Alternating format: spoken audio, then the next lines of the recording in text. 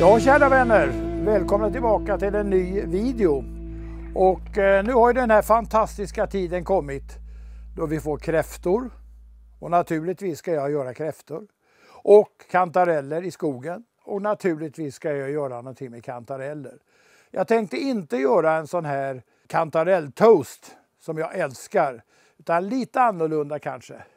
Som en liten förrätt före kräftmiddagen.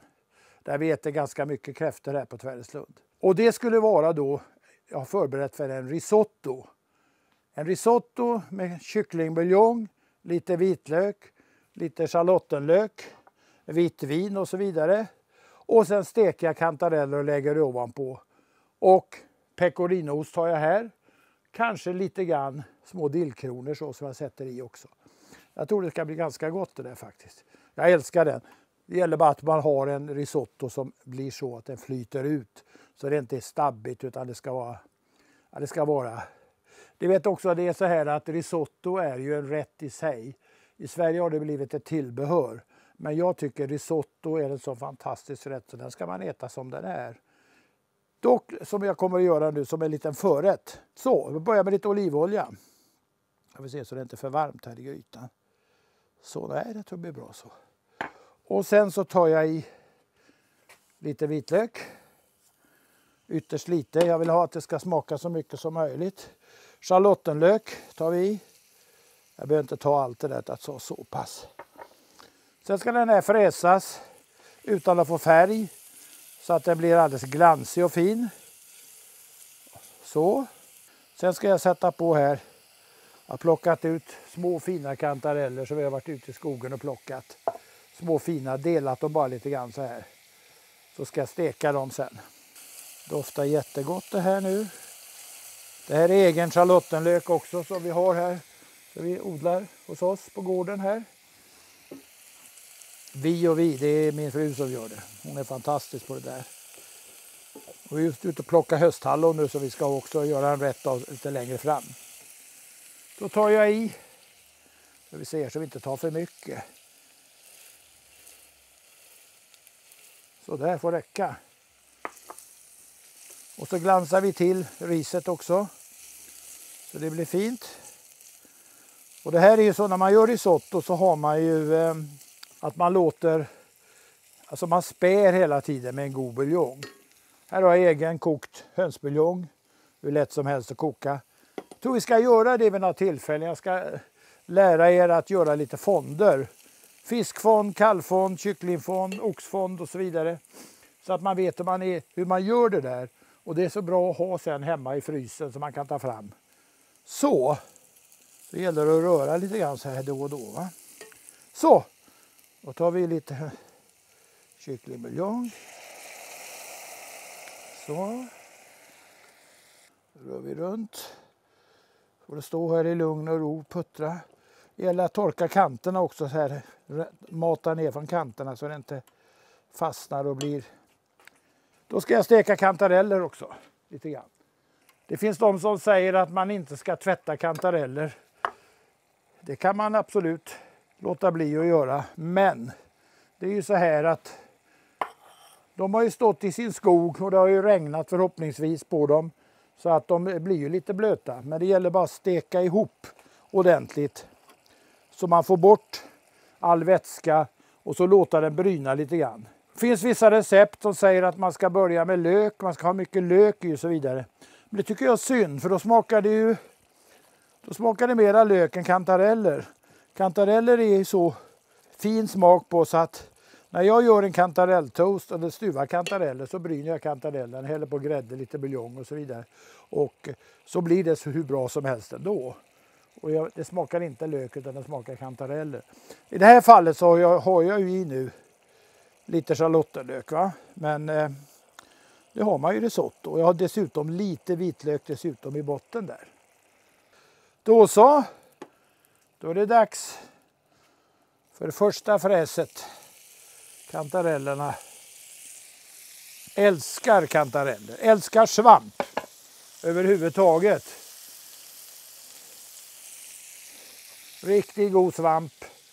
Vi plockar massor här ska ni veta.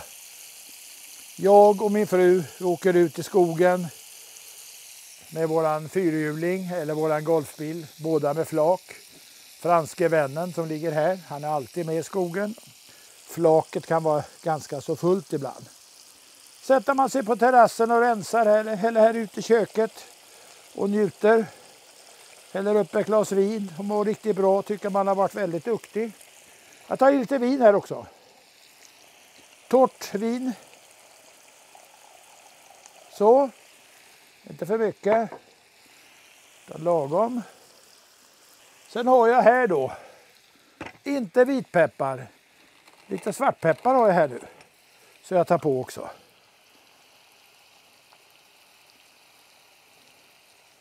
Så det är inte så att jag har snöat in bara på vitpeppar men vitpeppar är det ädlaste tycker jag. Men till det här kommer vi använda, jag har fått av en ung man här, William Dafgård. Det här är vild svartpeppar, alla plockat utomlands. Fantastisk smak på. Så. Nu ser ni här att det kommer ut en ganska mycket spad här, vätska. Nu ska det få koka ihop och börja bryna lite lätt. Inte för mycket, utan lite lagom sådär. Jag köpte en liten ostbit idag här som ni ser. En eh, pecorino. Som jag tänkte ta och skära av. En liten bit. Vi se om vi kan göra det utan att göra oss illa här. Det kan man väl göra va? Och trycka på lite ordentligt så. Jajamensan. Tjoho. Eller var snabb. Så, så tar vi där. Ska jag vacka in den här osten sen. Det blir så bra. Så. Jag tycker till en sån här rätt så är det roligare att använda sig av pecorino än en parmesan. Och um,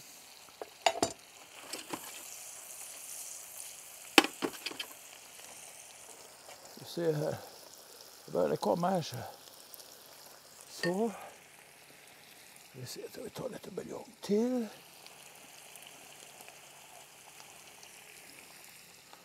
Det blir lite roligare när man kokar sina egna buljonger. Jag, jag gillar det. Jag är, jag är uppfödd på sånt där. Det är liksom så och så där.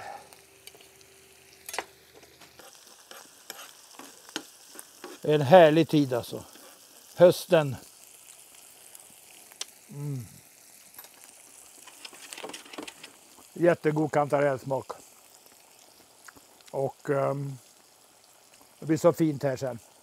När jag får garnera min risotto med detta. Nu känner hur det smakar här. Buljongen. Mm. Perfekt, underbar smak. Då tror jag att jag lägger det här lite grann åt sidan ett tag. Så. Så det inte blir för hårt brynt. Ska vi ha lite ost. Den är ganska mild den här osten men den blir jättefint på, på den här rätten. Om ni tycker jag tittar för lite i kameran så beror det på att jag måste koncentrera mig lite grann på det här. Så där, titta. Den ska vi röra i. Så, så gör jag en liten hög till här som jag ska ta och garnera med. Jag kör på lite peppar under tiden. Det är bara till väntan så att det här ska bli färdigt. Sådär ja, så är svartpepparn klar. Nu gäller det att koka det här också så att det blir al dente. Så att den inte är för för mycket kokt, för det vill man inte ha. Så. Utan, en del reagerar nog för att det finns en liten kärna. Men jag vill gärna ha det, den här lilla, lilla, lilla kärnan. Och, och det får man när man följer med så här. Det börjar bli färdigt det här nu. Så nu gör vi så här. Sätter på kantarellerna igen. Flyttar på osten Så sätta mina tallrikar där. Där vi tar lite smör till i va. Så.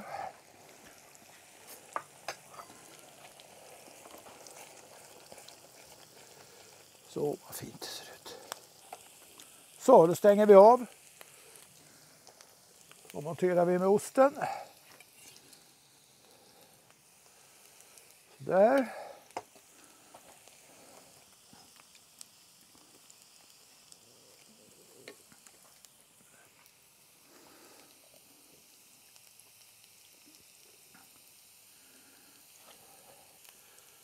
Så. Titta, titta.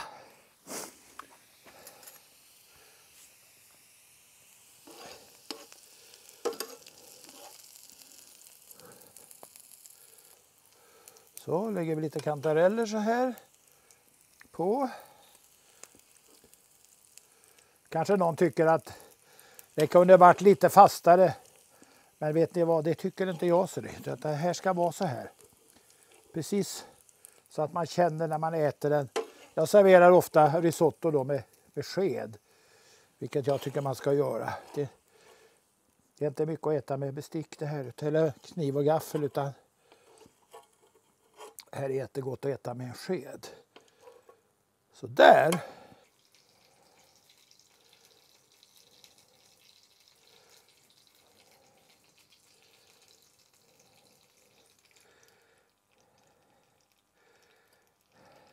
Så där, kära vänner.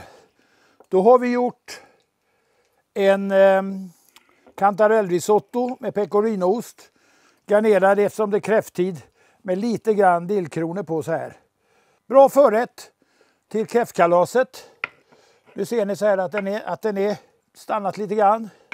Alltså var den inte för tunn. Utan det här var jättebra så här. Och så ska jag ta på Herregud, höll på att glömma det viktigaste. Lite svartpeppar. Vild svartpeppar. Levererat utav William Dafgård. En hygglig karl. Jag kan inte säga så mycket mer utan fortsätt nu prenumerera och eh, i nästa avsnitt så blir det kokning. Mitt sätt att koka kräftor. Eh, lite saltare, Kanske lite mer socker än vad ni brukar ha. Men eh, det blir gott. Jag har goda vänner som ringer och tjatar på mig hela tiden. Du måste koka kräftorna för du gör det så bra, säger de. Då gör vi så här att ni fortsätter prenumerera som sagt var så ses vi snart igen. Hej så länge!